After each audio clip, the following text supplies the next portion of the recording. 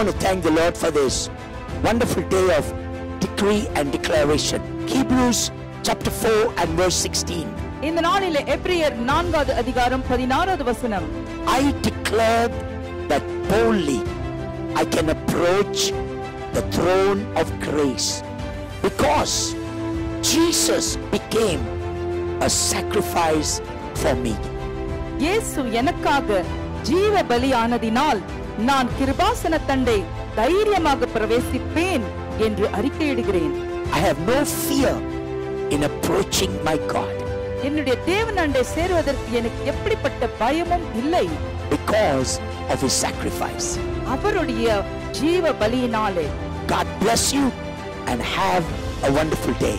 ஆண்டவர் உங்களை ஆசீர்வதிக்கட்டும் இந்த நாள் உங்களுக்கு ஒரு ஆசீர்வாதமான நாளாக இருக்கட்டும் If you would like a copy of this book, uh, please do WhatsApp us at 9886 777 777.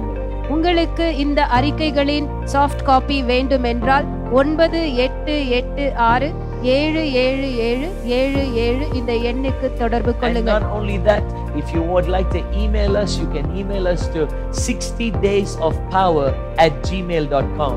அதோடு கூட நீங்கள் இமெயில் அனுப்ப வேண்டும் என்றால் sixty days of power at Gmail dot காமுக்கு நீங்கள் இமெயில் அனுப்பலாம் It's going to be a great time. Everybody has five minutes in their day that they can spend.